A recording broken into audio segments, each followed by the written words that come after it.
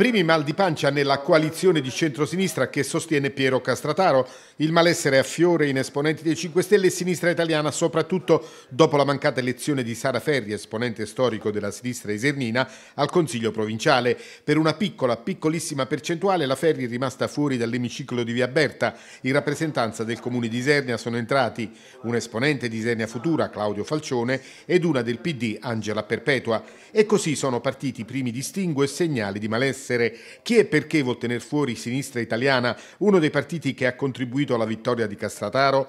Una domanda che non coinvolge solo la provincia, dove la Ferri non ce l'ha fatta, ma anche il comune, dove il sindaco ha tenuto fuori dalla giunta l'esponente di Sinistra Italiana. Oltretutto oggi c'è il sapore della beffa perché la mancata elezione di Sara Ferri è arrivata insieme al comunicato stampa in cui Leda Ruggiero, assessore esterno della giunta Castrataro, viene indicata anche tra i dirigenti molisani di Azione, partito di Carlo Calenda, che che da poco ha celebrato il suo primo congresso regionale. Insomma, considerati i pessimi rapporti tra Calenda e Grillini, ma soprattutto tra Calenda e sinistra italiana, c'è qualcuno a sinistra che si sta ponendo delle domande sulla nomina in giunta di Leda Ruggiero al posto di Sara Ferri, domande a cui il neo segretario provinciale di Azione risponde così. Significa che il sindaco Castrataro ha voluto inserire all'interno della giunta un suo collaboratore ma eh, in questo caso non ha sicuramente una valenza politica, è esclusivamente un aspetto tecnico.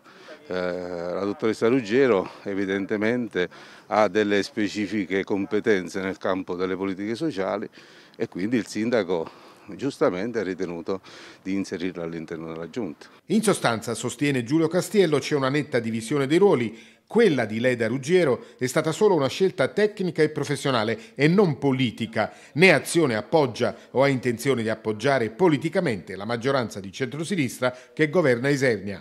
Assolutamente no, assolutamente no, anzi io rimango sorpreso che alcuni gruppi politici che hanno sempre rivendicato appunto una forma diversa di politica eh, possano fare riferimento a questo aspetto. Insomma, Reda Ruggero è stata nominata quando già faceva parte di Azione, non è che eh, è entrata successivamente.